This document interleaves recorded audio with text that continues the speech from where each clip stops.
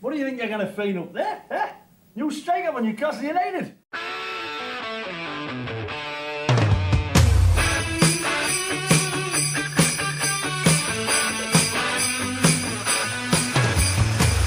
I'm gone!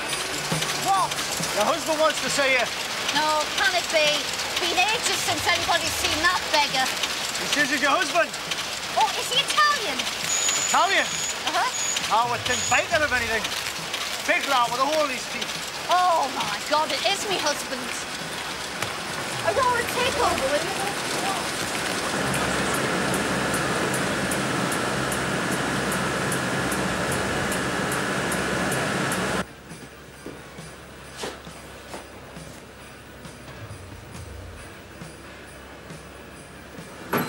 Where? Look what's crawled out the brickwork. Hello, Marjorie. When did you get back? I've been back in the UK a couple of weeks now. I came up here last night. Now, what's our list with you going to Italy? Who told you that? The band told us that. You've seen Rod. Yes, I've seen Rowan to his school. You don't mind, eh? I'm his father, you know. If you'd read the correspondence from the separation orders, you'd know you're not allowed access to him. What correspondence? You were sent copies of everything. I've been moving around a bit, you know. Don't tell me.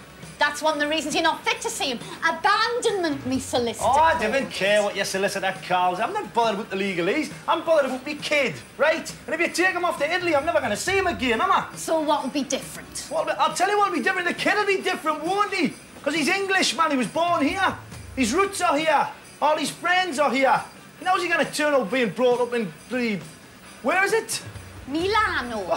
Milano. I suppose that's Italian for Milan, is it? You're talking the language already. Look, you'll turn out a lot better there than you will living here.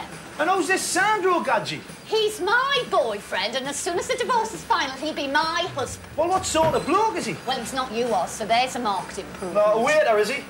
How do you know that? well, he stands to reason, doesn't it? I mean, any whopper chinky that arrives on says he's bound to be a waiter. They didn't come up here to build ships, you know. He'll be opening his own trattoria in due course.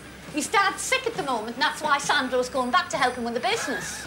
Yeah, so, so every time I want to see me kid, I've got to hop on a day flight to Milano, have I? Eh? I told you you don't have access. I can get it, can't I? I'm his legal dad, Are you you know. going to take me to court, are you, Oz? I would love that. I'd love my day in the dock telling a few long overdue home truths. Oh, man, you haven't got a leg to stand on. You've been out of his life for three years. I've been, I've had to be working abroad, man, haven't I? Had to go to Deutschland, and then the Falklands. The Falklands, don't tell me that wouldn't have an emotional sway with the courts of this country. You weren't there during the hostility. I was there during the aftermath. Oh. And one of the things that got us through was the thought of putting a few quid away for the band's future, man. Well, we saw precious little of it. But and then I you went traipsing around America. That I must have made a hole in it. I mean, those boots Oh, can't sh- shut up, man, Marjorie, will you? Shut up.